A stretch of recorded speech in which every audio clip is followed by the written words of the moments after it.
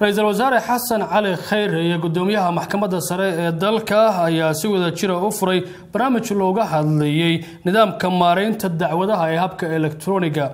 haajir cabdiqaadir nuur wariyaha kale r t n ee muqdisho ayaa ka waramaya barnaamijkan ayaa si rasmi ah loogu daafuray xafiiska xeerlaalinta waxaana goobjoog ahaa gudoomiyaha maxkamadda sare dalka ra'iisul wasaare ku-xigeenka xeerlaalyaha guud ee qaranka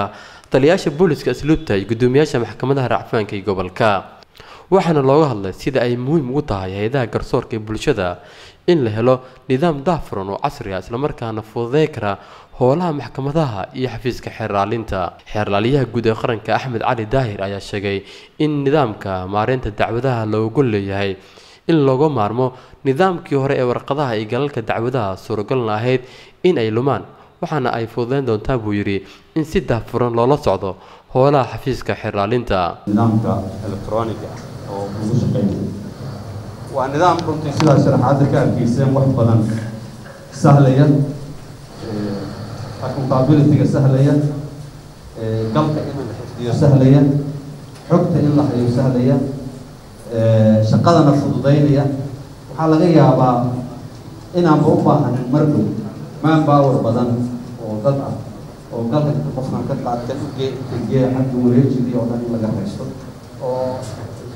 sida uu systemku hadda u shaqeeyo ay tahay in uu noqon doono maanta waan daa furaynaa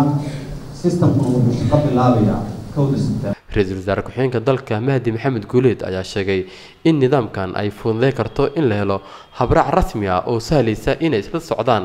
madaxda sare dalka iyo xafiiska xeerlaalinta habraac rasmi ahoo loo tixraaco oo iyo nidaam lagu control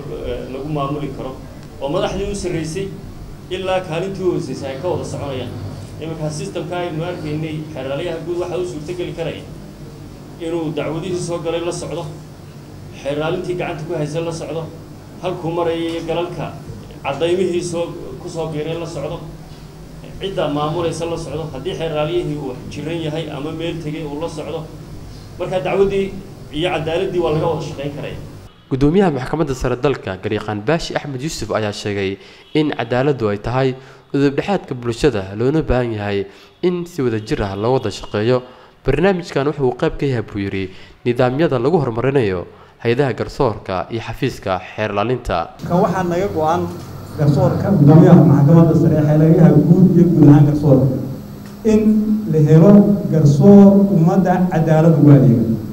inaan qofna loogu dulqaadan musuq inaan qofna loogu dulqaadan eex inaan qofna loogu dulqaadan wax isdabamarin in ummaddan loogu adeego cadaalad iyo garsoor iyo sinaan iyo alkacabsi hawlahana taasay ayay u yihiin maaragtay daahfur yihiin. Taasay xaqiijinayaan. Haajir abduqaadir r t n t v muqdisho